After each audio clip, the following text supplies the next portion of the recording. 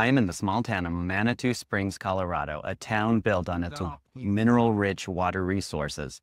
It was also one of the first places fluorosis was identified. In 1901, Dr. McKay graduated dental school and came out to Colorado Springs to set up shop. One of the things he noticed in his patients was this change in their teeth, anything ranging from white chalky spots all the way to what they called Colorado brown stain. Although the teeth may not be aesthetically pleasing, he did note that these patients didn't seem to have the decay that other patients had.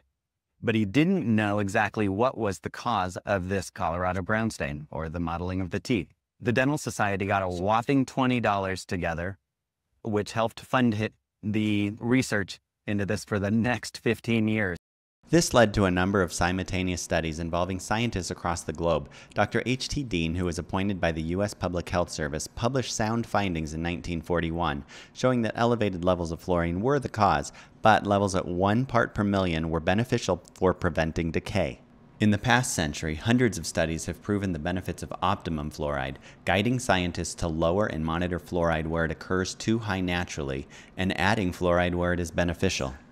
So here we are testing Shoshone Springs water, and trust me, I would drink more of this if I could, but I need all of this for the test.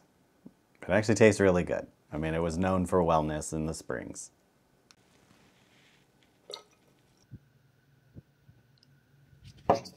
Shoshone Springs coming in at 5.2 parts per million fluoride. Now let's test the other one. So 3.9 parts per million for Cheyenne Springs. Now again, these are uh, these are naturally occurring springs, so it will vary depending on runoff um, and many other factors. So now that you have some of the background knowledge on the extensive history and misunderstanding of fluoride, next week we will wrap it up on why there is a controversy and misunderstanding about fluoride. And I highly recommend stopping in at Rocky Mountain Beignets.